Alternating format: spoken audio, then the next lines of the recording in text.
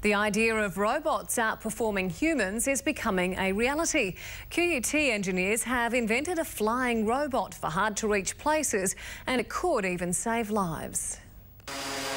In a QUT laboratory, the flying robot comes to life. Little bigger than a dinner plate, it hovers around a makeshift power pole as if looking for faults. Usually the job of a linesman, but maybe not for long. We want to make it easy for people to take quick looks at difficult places. Controllers pinpoint on a computer where they want it to go. In this map, the robot is always in the middle and all of the red dots represent things in its environment.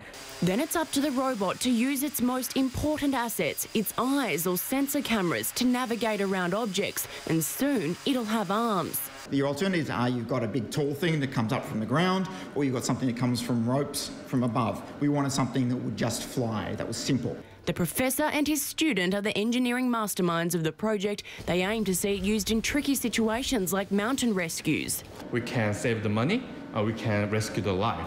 Cleaning windows on skyscrapers or inspecting tall building sites. The robot doesn't have a name yet and aesthetically it needs a bit of work, but the inventors say in about a year's time it'll be ready to go on show. And hopefully attract a buyer. To save the money, to save the time, yeah. And for you to make money too? I want to do that, if I can. Renae Henry, 10 News.